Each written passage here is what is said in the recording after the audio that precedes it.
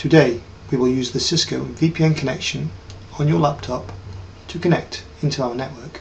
You'll need your laptop logged on and your BlackBerry at the ready. So first of all, click on the Cisco AnyConnect program on your taskbar or on your desktop. The Cisco AnyConnect VPN program will now open. Now click on the connect button. After a few seconds, you will see a prompt for your username which should already be populated and one for your passcode. The passcode is gained from the RSA app on your BlackBerry.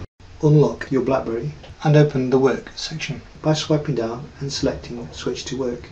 To denote the Work section, you'll see the background colour has changed. Find your RSA app and click it. Type in your 4-digit PIN number. Please note, if you type it in wrong, it will give you an incorrect passcode, which will not work. Now enter the passcode from the BlackBerry into the Cisco VPN program the passcode will change every 60 seconds. Now click the OK button.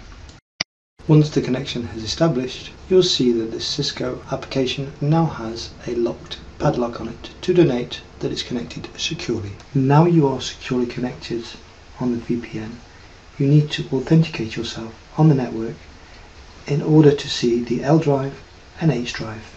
To do this, right click the red N on the right hand side of your taskbar. Select Novell Login. The Novell login window appears.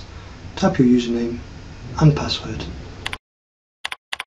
Then click OK.